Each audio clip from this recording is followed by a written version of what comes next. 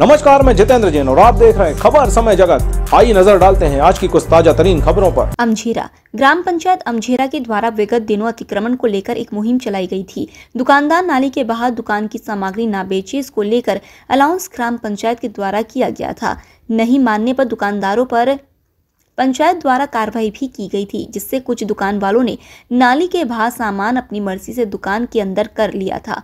और नहीं मानने पर कुछ दुकानदारों द्वारा सामान नहीं हटाने पर पंचायत द्वारा सामान जब्त कर ट्रैक्टर ट्रॉली से थाना ले जाया गया था, जो जुर्माना रसीद देकर सामग्री ग्राम पंचायत द्वारा वापस दी गई थी। एक माह बाद आज फिर वही स्थिति देखने को मिल रही है। फिर से मेन बाज़ार में दुकानदारों द्वारा नाली के बाहर पलंग, तकत और ठेला गाड़ी लगाकर सामग्री रखकर बेची जा रही है, जिससे आम जनता को आवागमन में भी भारी परेशानी का सामना करना पड़ता है।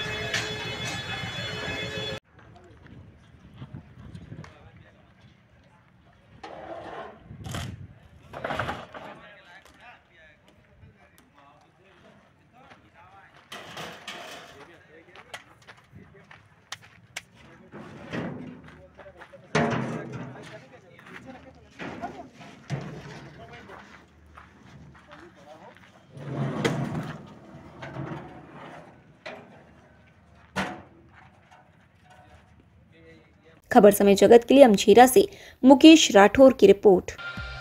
Latest news subscribe to our channel